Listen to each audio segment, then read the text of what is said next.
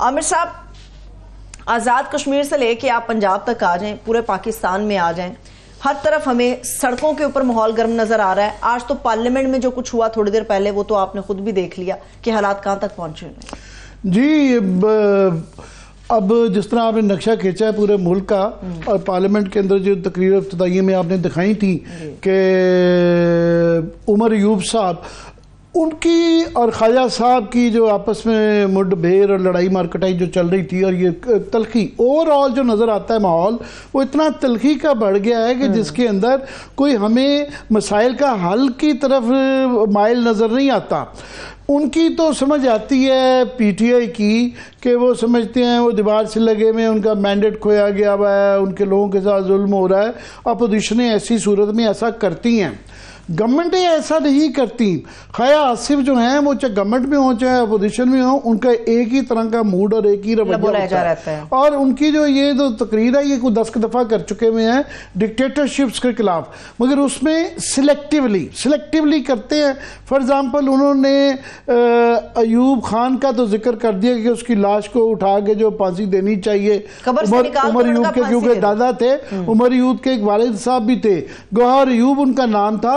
वो इनकी पार्टी में इनके स्पीकर रहे इनके बड़े जो मरकजी इनके जो सियासतदान थे नवाज़ शरीफ के करीब तरीन दोस्त रहे हुए हैं हाँ। दस पंद्रह बीस साल उन्होंने इनके साथ सियासत की हुई है मगर वहाँ से सीधे अयूब खान से जंप लगाते हैं तो आ जाते हैं मशरफ पे या वो सूरी के ऊपर आ गए बिल्कुल रिसेंटली दरमियान में एक शख्स था जिसका नाम था जियाउलक उसको कहा जिसके वालिद के साहब के साथ ख्वाजा आसिफ के जो वालिद साहब थे वो ख्वाजा सदर साहब जो है वो वहाँ उनके साथ उन्होंने काम किया। उनकी सारी सियासत उनके साथ गुजरी। हम्म। नवाज़ शरीफ साहब उनके बहुत करीब रहे हुए सारे उसके बेनिफिशरी रहे।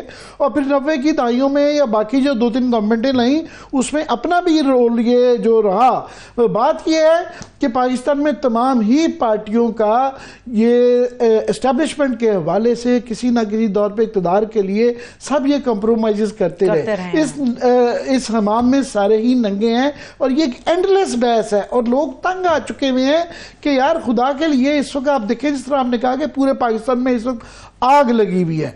मुजफ्फराबाद में इस वक्त जो है आज़ाद कश्मीर में और जगह मुजफ्फराबाद में ख़ास तौर पे इस वक्त भी इंटरनेट बंद है सारा शहर बंद है। वहाँ पे फ़ूड की सप्लाई दवाइयों की सप्लाई नहीं जा रही अस्पताल नहीं है।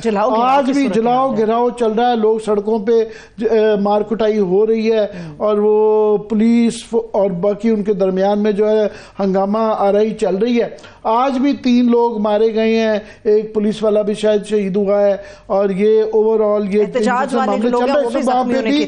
बिल्कुल आग लगी हुई है। हम्म। कश्मीर के अंदर और कश्मीर, याद रहे, बहुत ही एहसास एक आज़ाद कश्मीर जो है, वो एक मॉडल के तौर पे हम पेश करते हैं इंडिया को दिखाने के लिए और मकबूजा कश्मीर को रागब करने के लिए कि देखें, ये वो जन्नत है जो हम आपको पेश करेंगे। फ़िलहाल वो जन्नत एक दोजख बनी हुई है, वहाँ उसकी तरफ़ ध्यान नहीं जा रहा। और सिर्फ़ आज़ाद कश्मीर का मसला नहीं है, इस वक्त पिछले, आप देखें हफ़्ते में गवादर में पंजाब से ताल्लुक रखने वाले सात अफराद जो है उनको मार दिया गया। सात मजदूर थे सात मजदूर थे पंजाब से। उसके बाद ये कल की खबरें छपी हुई थी कि शिमाली वजीरिस्तान में दहशत गर्दों के दो हमले हुए हैं सात सिक्योरिटी एहलकार शहीद हुए हैं। मतलब के पी भी आपका हो गया बलोचिस्तान भी हो गया।